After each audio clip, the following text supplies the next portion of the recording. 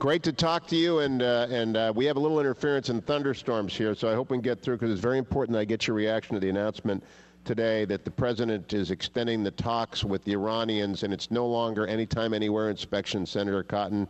It's tight monitoring. What do you read into this? Hugh, the uh, actual content of the deal is more important than a six-day extension in the conversation, and the issues on the table now, such as the tightness of the inspections or the speed of sanctions relief, or whether Iran will disclose its weaponization uh, work in the past on its nuclear program, simply highlight all the things on which the West has already conceded. We're not talking about whether Iran will keep its uh, uranium, keep its centrifuges, keep its underground fortified bunker Fordo, because we already conceded on all those things. We just continue to grant concessions, and Iran continues to pocket them and demand more because they clearly know that the United States wants this deal worse than they do. Carly Fiorina just said on this program, Senator Cotton, that of course President Obama will collapse. And but if he collapses before July 9, you only have 31 days. If it goes to July 9, if I understand the law, you get 60 days. Can you muster enough opposition in the United States Senate to defeat this deal in the next month? That's to be decided. I believe that Republicans will uniformly oppose the terms of the deal that are currently on the table. If the president does give a signing bonus of tens of billions of dollars to Iran at a time when it still is the worst state sponsor of terrorism and is fomenting unrest throughout the Middle East. And we collapse on the demand for anytime, anywhere inspections to include Iran's military facilities. And we uh, don't insist that Iran discloses weaponization work.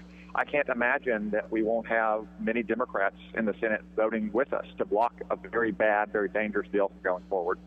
All right, let me ask you about the second breaking news of the afternoon. The president has announced that an embassy will open tomorrow in Havana. Carly Fiorina just said that unless the Congress votes to authorize that and fund it, she will close it on her first day in, in a, a Fiorina administration. I hope other Republicans make the same commitment. What do you think of the president's unilateralism here?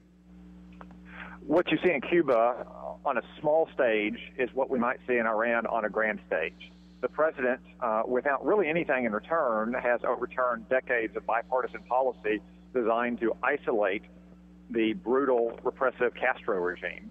Uh, we should not be opening an embassy. We should not be sending ambassadors there. We should not be normalizing relations. We should be standing with the Cuban people and protecting the interests of the American people in isolating and ultimately overturning the Castro regime. Uh, Senator Cotton, the, the reception given to former Israel ambassador to the United States, uh, Michael Oren's book, Ally, has been caustic and uh, almost a silencing by the administration and its allies of a man who stood by them resolutely through the hardest times. He always said diplomatic things about President Obama. What does that tell you about the relationship right now between Israel and the United States?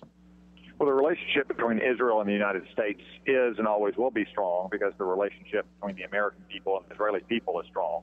But clearly, President Obama, based on Ambassador Oren's book and many other reports over the years, is always quick to find the, uh, any kind of slight with Israel, always quick to highlight whatever he believes uh, Israel's misconduct is, yet always quick to forgive Israel's adversaries like Iran. Uh, the attack in Tunisia this past weekend, it was, uh, it was swallowed up by the news that convulsed the United States out of Charleston and elsewhere, uh, and the economic collapse in, in Greece and the Puerto Rican bonds. But I was talking with Governor Perry about it in the first hour. No one on that beach was armed, Senator Cotton. How long until this sort of movie opens sadly and tragically in a theater near us in the United States, not from a domestic terrorist as who acted in, in Charleston, but from a jihadi? Hugh, un- unfortunately, the threat to our homeland is as grave as it's been in many, many years. Uh, you've had Mike Morell on your program who has said he would not be surprised if the Islamic State attacked us next week on our homeland. Uh, it's a grave threat, uh, and it's some of the consequences of a failed counterterrorism policy in Iraq and uh, at first and now in Syria as well. As Mike Morell has said, if you don't keep pressure on groups like Al Qaeda and the Islamic State, then they re- uh, regain the capability to protect power and ultimately strike us in the United States. But are, is the country serious about this? Because uh, the marriage decision got a lot of ink, the Obamacare decision got a lot of ink, and, and if you have comments on those, I'd welcome them. But I keep going back. We're one day away from uh, everything being wiped off the front page except a Tunis like incident here in the United States?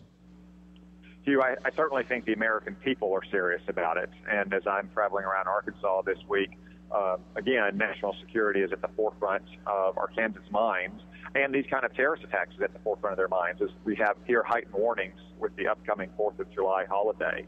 Uh, I can't say that's always the case with uh, the Washington elite, though. Uh, that they are as focused on these national security threats as they should be, but I certainly am because the people of Arkansas are. Let me draw you in then to the filibuster versus repeal debate. Uh, Senator Cruz made a, a, very robust defense of the filibuster, even if parts of Obamacare could not be removed via re- reconciliation. Scott Walker, Carly Fiorina, Rick Perry, Jeb Bush, all the governors say, to heck with the filibuster, let's get rid of Obamacare. Senator Cotton, it's sort of unfair. You've only been there six months, actually, in the United States Senate. But what do you think about the merits of, of the Reid rule being invoked to get rid of Obamacare?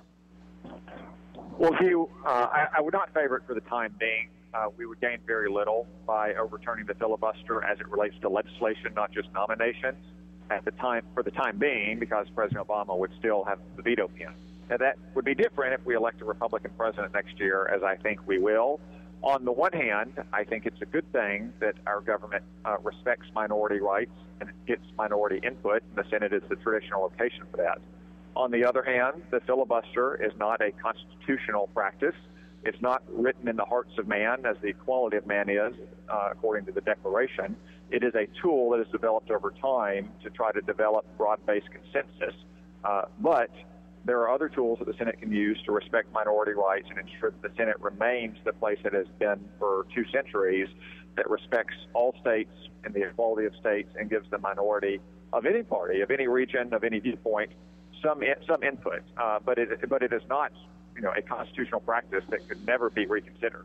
Yeah, that, that's what I would love to hear. I would love to hear that that the leader and uh, the whip actually convened an honest and, and forthright debate about the merits because it's not constitutionalism it's it's extra constitutional and it might be useful it might be more necessary but it's an open question and and you know Hugh the, the Senate was designed in part to ensure that the cool and deliberate sense of the community prevails, as James Madison said. And it has a constitutional design, the six year terms that are staggered every two years, the equality of the states, and so forth. Um, and on top of that constitutional design is developed a set of formal rules as well as informal customs. And those all reinforce the design. But that doesn't mean that any one of those rules or any one of those customs is a constitutional practice itself. And in fact, uh, far from being ahistorical uh, when you say the filibuster is not a constitutional practice. For most of the first half of our country's history, filibusters were unheard of in the Senate. Interesting, interesting. Senator Cotton, I'll return to this with you another time. Uh, have a great 4th of July. I won't be here next week, but I look forward to talking to you when I return.